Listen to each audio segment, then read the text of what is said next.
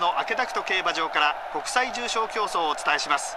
いよいよ発走ですスタートしました合計2戦好スタートランドアピールこの馬も好スタートを切りました。ダッシュよく飛び出してランドアピール鼻に立ちます。その後ろからは合計2戦この馬も上がっていく構えです。さらにはディスパーサル9番ブラックタイヤフェア。その後ろ後方に控えたのがスイートブライヤー2先頭に戻りましょう。ブラックタイヤフェア先手を取りました。これに続くのがランドアピール。並んで10番オータムミュージックピーチアトラクト。この馬もこのグループ。すぐ隣にジュエルミズーリ。の横にコロニアルウォーターズ合計2戦21です。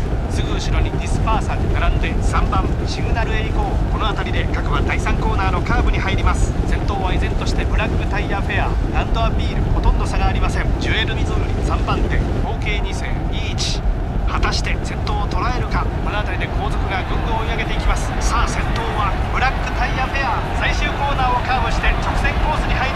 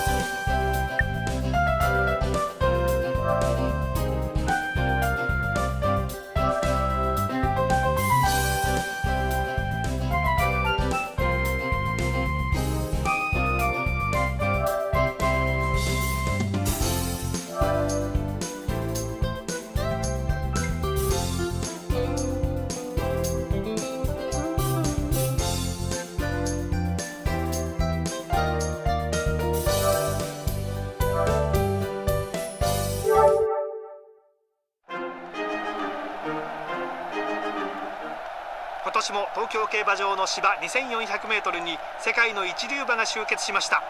海外のトップホースを相手にここはぜひとも日本馬の力を示したいところです。さあいよいよ国際 G1 ジャパンカップの発走です。おっとフティットイールゲート入りがスムーズにいきません。大丈夫でしょうか？大丈夫です。最後にスルーオダイナ入ってゲートイン完了です。スタートしました勢いよく飛び出したのはミスターシクレノ。おっとットイール出遅れてしまいました。イブンベイ前に行きそうです。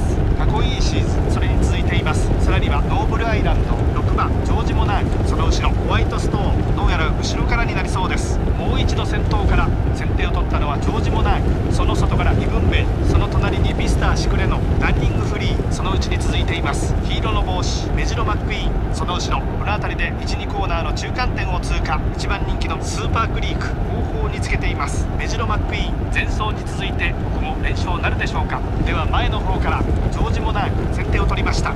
その外に2分目ランニングフリーそのうちに続いています。1000m を通過しました。ややハイペースといったところでしょうかこれが石膏勢にどう影響するか先頭から最高峰までおよそ8馬身各馬一塊ですもう一度先頭から見ていきましょう先手を取ったのはイブンベイこれに続いてジョージ・モナークランニングフリーすぐ後ろ黄色の帽子メジロ・マックイーンその後ろ。